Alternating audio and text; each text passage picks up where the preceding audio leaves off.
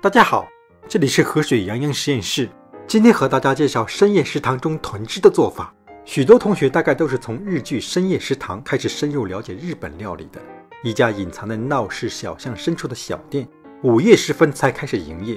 从老板到顾客，个个都是有故事的人。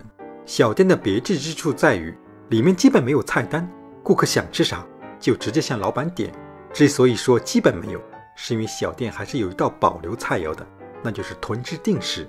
所谓定时，相当于是套餐，而豚汁说白了就是加了猪肉和其他配菜的豪华加强版的味增汤。每次剧集开始的时候，都有一个短暂的桥段，老板一丝不苟地把烹制豚汁的各种食材放进锅里，轻轻翻炒，最后把味增缓缓拌入汤里。此时的豚汁已经是香气扑鼻，而屏幕外的观众早已是垂涎三尺。从今天开始，我们推出深夜食堂美食深度还原系列。这一集是开篇，接下来我们会逐一还原剧中那些大家耳熟能详的日式料理。敬请大家订阅并关注我们的频道，并随时提出宝贵意见。好，我们现在开始。首先介绍一下豚汁中最重要的风味来源——味增。市场上的味增分为三大类：白味增、棕味增和赤味增。这个是白味增，颜色比较浅，味道也比较清淡；这个是赤味增，颜色比较深，味道也更加浓烈。至于中味增，它的颜色和风味都介于二者之间。味增的选择取决于搭配的食材和个人的偏好。如果你仔细看，就会发现深夜食堂开始的时候用的味增每一季都是不一样的。接下来处理一下食材，把两百克土豆、一百克白萝卜和一百克胡萝卜洗净后去皮，然后把它们切成四毫米厚的薄片。日本料理对处理食材的刀工非常讲究，按照传统的做法。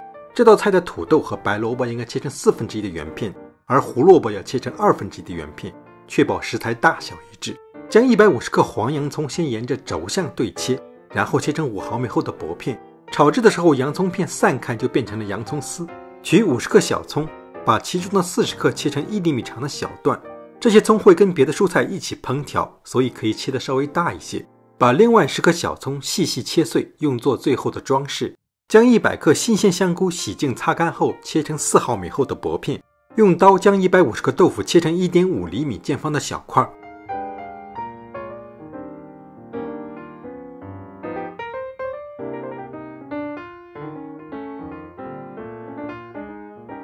用手把一百克蒟蒻掰成一点五厘米大小的块。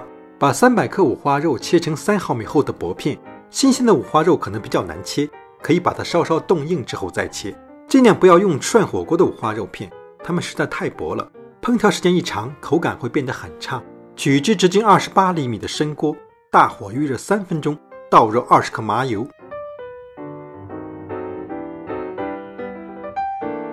把切好的五花肉片倒进锅里，迅速翻炒，直至肉片全部变成灰白色。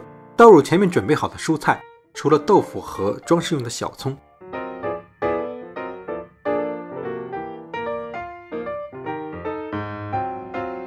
加入一千克出汁，也就是日式柴鱼高汤，搅拌均匀。出汁的制作方法见视频最后的链接。等锅内液体沸腾后，盖上锅盖，继续中火加热二十分钟。时间一到，把炉灶火力降到最低，取只小的漏篮，放入一百零五克棕味增，将漏篮浸在锅里，用筷子不停搅拌，让味增渐渐化开。这里我们用的是棕味增，你也可以用不同比例的白味增和赤味增。搭配出自己喜欢的口味，跟其他味增汤一样，豚汁里的味增也要等到最后即将结束的时候再放，而且放进去之后就不能再用大火加热，因为味增经过大火煮沸之后会损失很多风味。最后加入切好的豆腐，轻轻搅拌几下，让豆腐与汤汁充分接触，小火加热一分钟之后就可以盛出来了。最后撒上切碎的小葱作为装饰就可以享用了。谢谢大家观看，欢迎大家点赞、转发并订阅我们的频道，我们下期再见。